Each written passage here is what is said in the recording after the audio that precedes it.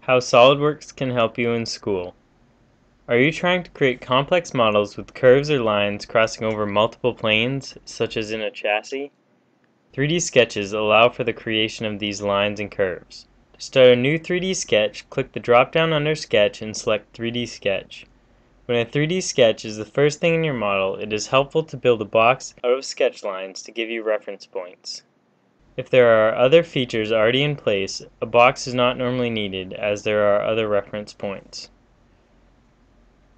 Once the box is created, the 3D sketch can be closed by clicking the icon in the upper right of the window, or 3D sketch can be clicked under the sketch dropdown.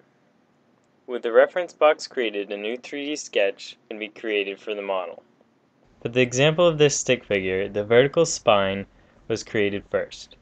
When working with 3D sketches, there are more relations that need to be added in order to fully define the sketch.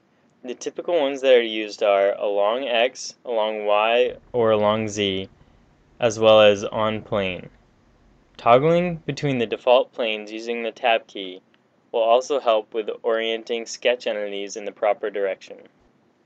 When dimensioning a 3D sketch, the dimensions can either be absolute along X, Y, or Z, and can be changed before the dimension is placed by pressing the Tab key. When using splines such as the arms of this stick figure, it is best to have references wherever the spline points will be.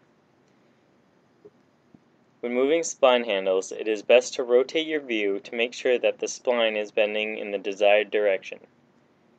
Another tip to keep in mind when working with 3D sketches is to add relations and dimensions as you go in order to avoid the dreaded sketch deforming caused by defining your sketch after all entities have been created.